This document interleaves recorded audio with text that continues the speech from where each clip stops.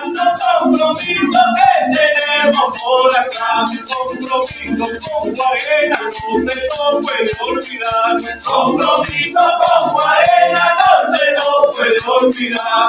Y la cultura de Guarena, eh, que es muy rica, pero muy poca difundida. Porque en nuestras escuelas nosotros resaltamos siempre nuestras manifestaciones culturales. Porque la esencia del ser humano es su cultura.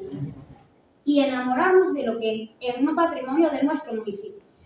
Y todo lo que es la, la cultura guarenera, gracias también a Campanario Urbano, imagínense que, que ha, el, el, profesor Pablo Muro, que ha hurgado allí en, en todas esas esos documentos. Y el San Pedro, sin duda alguna, que representa para el guarenero una historia que viene desde los esclavos. Consecuente con los años y con el tiempo, con la ancestralidad y con la cultura.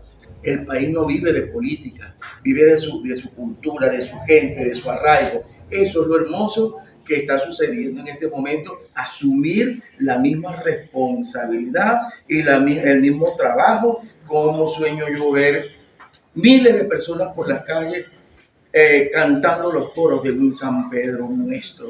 ¿Por qué? Porque lo estamos asumiendo desde la ancestralidad. Para los